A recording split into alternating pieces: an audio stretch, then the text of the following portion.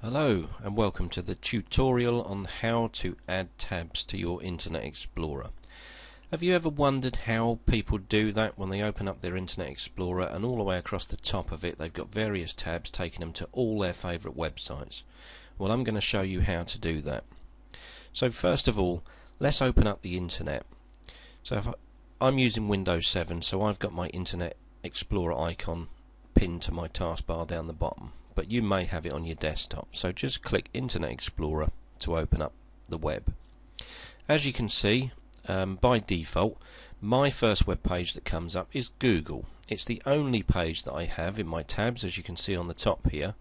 Um, and next to it, I just have a new tab window with no other website associated with it at all. So the first thing we want to do then is let's think about all the different websites that we'd like to get our hands on really quickly when we fire up Internet Explorer. So one of the websites that I frequent a lot, I, I guess, would be eBay. So if I just type in the web address for eBay,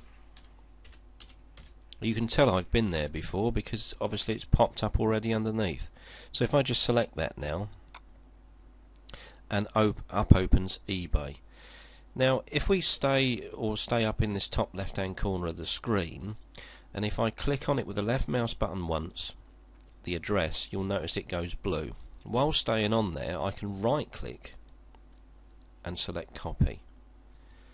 Now the reason for this I'll, I'll explain in a moment but if we go over to the right hand side at the top of your Internet Explorer where we've got tools click that box and a drop down menu will give you various things. And we're interested in the one at the bottom which is internet options. So click that.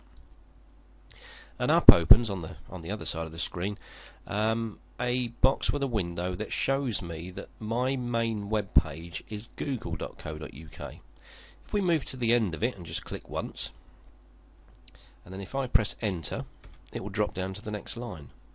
Now if I right click and paste I've now pasted in my eBay website and that's as simple as it is to add new tabs. Now I could drop that down again and I could manually type it in if you like http colon slash slash www uh, dot text on site dot co dot uk is another favorite of mine.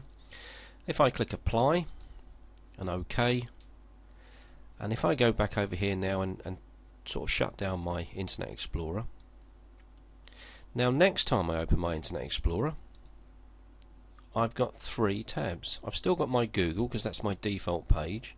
I've also got eBay and I've got texonsite.co.uk and that's really how easy it is and it's extremely fast. It's one of the good things about Internet Explorer 8 because it lets you get to your pages that you frequent the most really fast if I'd made a mistake and I wanted to remove one of these pages I'd simply reverse what I've just done. So if I go back over to tools drop down menu all the way down to internet options and then simply I don't know maybe I want to take eBay out. I just swipe the line there. Backspace. Apply that. OK and next time I open up Internet Explorer.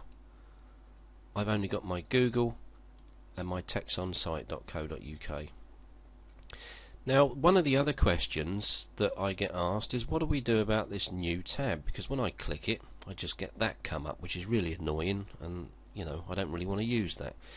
So it would be handy maybe that every time I opened a new tab maybe it could open a fresh Google window. So let's go back over to tools back down to internet options. Now this time we're not going to worry about this window up here. We're going to look at the tabs window which is here.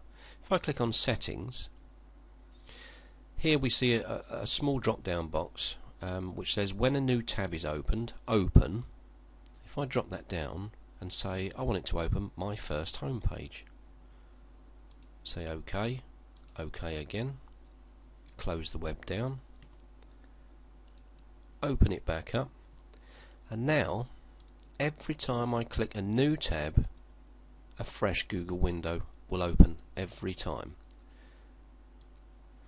Anyway, I hope that was of benefit to you. Um, this tutorial was inspired by Marion. Thanks very much, Marion, for asking us to, to show this to the rest because it is one of the questions we get asked a lot.